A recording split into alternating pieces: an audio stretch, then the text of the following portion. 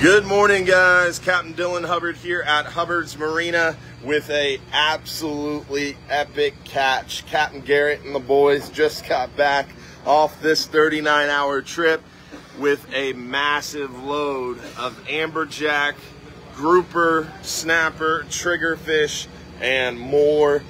Just too many fish.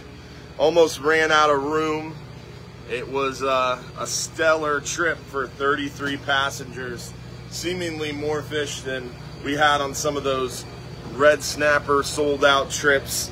And everybody only wants to fish during that red snapper season because they want to catch those keeper red snapper. But this goes to show you, you can catch even more outside of that red snapper season and have lighter loads too.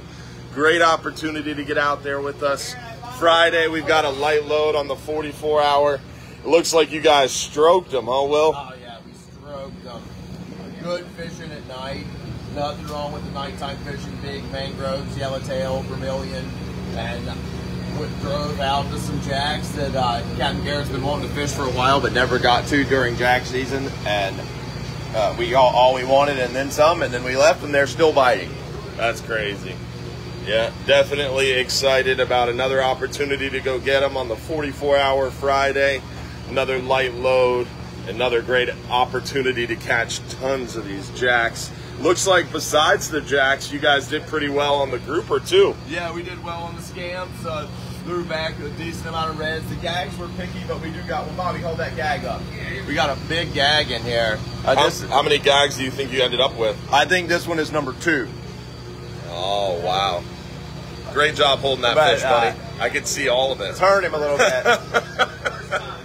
That's a rental rod gag grouper female, one of our lady anglers. Lady angler on a rental rod, huh? And they caught it on uh, what bait? Uh, that was caught on a piece of squid. On a piece of squid, wow. That's crazy.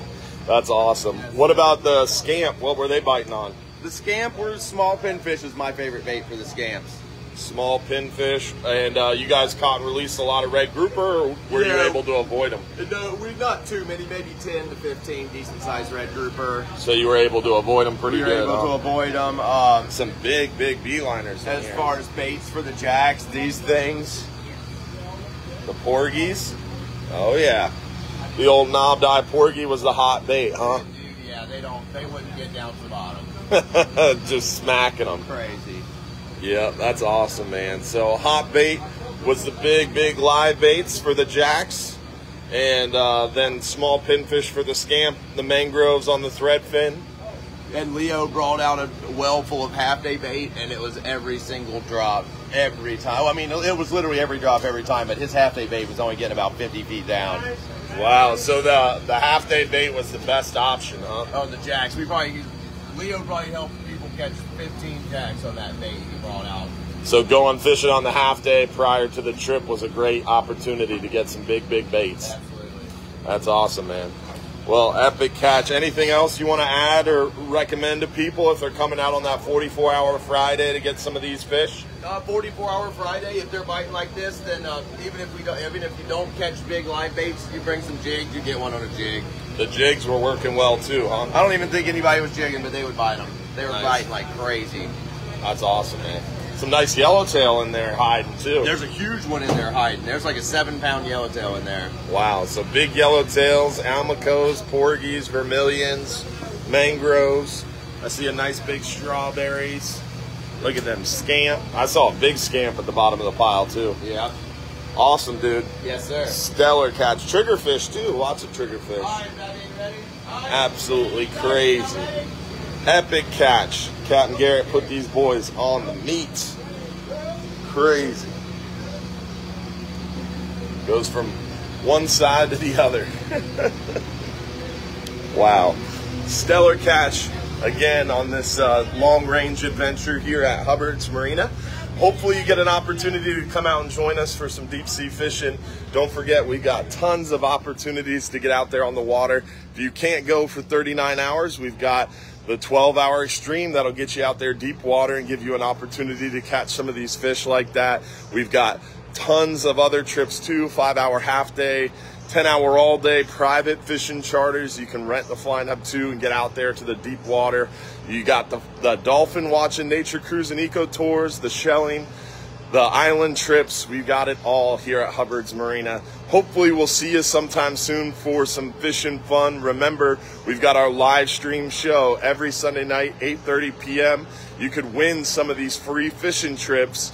We've got our Saturday morning Reel Animals radio show every Saturday morning. 6 a.m. to 8 a.m. We've got our Friday morning Fox 13 news segment every Friday morning at 8:15 a.m. Hopefully, we'll see you out here September 13th, 7 p.m. at Krabby's on the Pass for a fishing conversation, or we'll see you uh, Sunday, the 21st, September 21st at 2 p.m. at the Tampa Bass Pro Shops. The snook were loaded up this morning. We have lots of snook around the pass still, lots of mangrove snapper around too. Great opportunities to get out inshore during the day. The snook are out on the beaches. There's still a few around the docks, but they're a little leader shy. At night's the good time to get those snook. During the day, the mangrove snapper on those slow moving tides are a great option inshore.